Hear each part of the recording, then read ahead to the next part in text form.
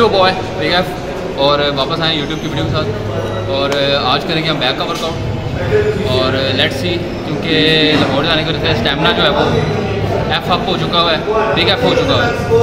तो अभी stamina back करने में ज़रा थोड़ा टाइम लग रहा है अभी पहले एक्सरसाइज जो हम करेंगे, वो करेंगे हम बैक रॉड डाउन और उसके बाद हम करेंगे क्लोज विप प्री रॉड एंड थर्ड एक्सरसाइज जो हम करेंगे, वो करेंगे हम लैट्स के लिए फ्रंट पुल डाउन तो लेट्स सी जैसे जैसे एक्सरसाइज होती है आपको बताते जाएँगे। और देखते आगे क्या बनता है।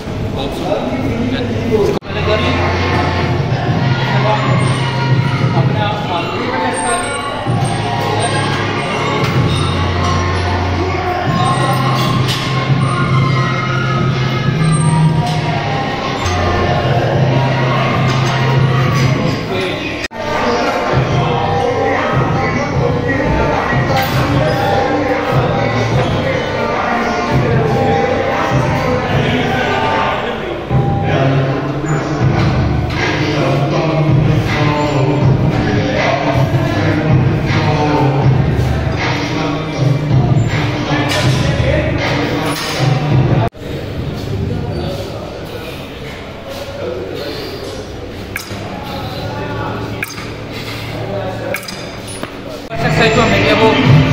पुल डाउन और सेकंड जो है क्लोज ग्रिप जो है, वो सचिन की है।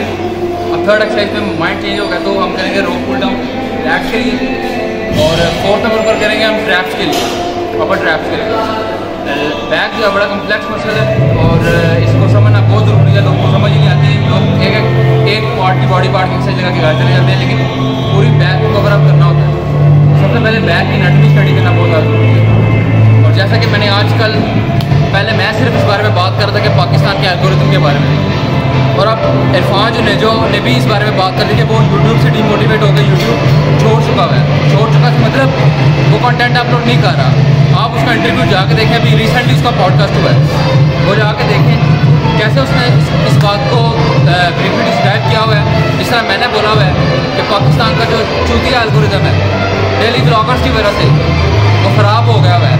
कंटेंट है ही नहीं ये नहीं कि कंटेंट क्रिएटर नहीं है, वो हैं। लेकिन वो एफर्ट तब करेंगे जब उनको रिज़ल्ट मिलेगा, इस इसी तरह, जिस तरह मैं कह रहा हूँ कि मैं तब एफर्ट करूँगा जब मुझे रिज़ल्ट मिलेगा। तो लेट्स सी अभी एक्सरसाइज करते हैं साथ। इन्फॉर्मेटिव टॉक्स भी करेंगे और वीडियो को लाइक और सब्सक्राइब ज़रूर करें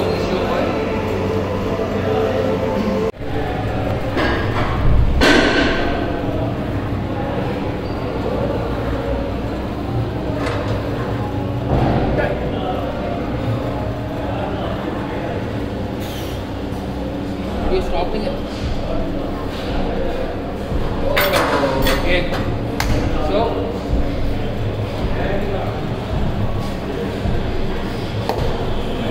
मोस्टली लोग ये चीज़ गलती करते हैं जिन्होंने अपनी बॉडी अच्छी बनानी होती है कंपटीशन कम्पीट करना होता है तो जो पोजिंग होती है वो एक अलग से एक्सरसाइज है। और आप जब भी एक्सरसाइज करें और उसके बाद मसल को हार्डनेस के लिए मसल को बेटर करने के लिए पोजिंग ज़रूर करें आप।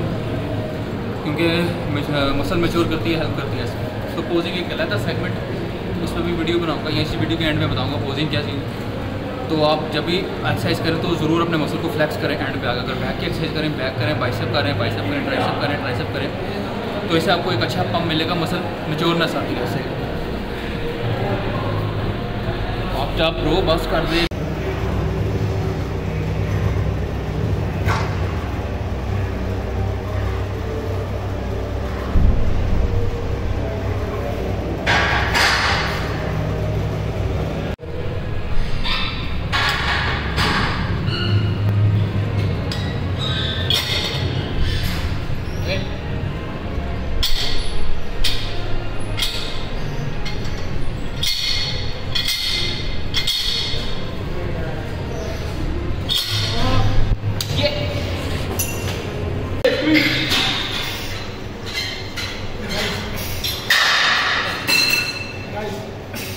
बार का ये अब लगा ये नाइस तीनों squeeze nice one more two more two two two squeeze nice one more yeah oh nice पूरा बार का just left आराम से आराम से नीचे ऊपर स्क्वीज कर नीचे आराम से Nice.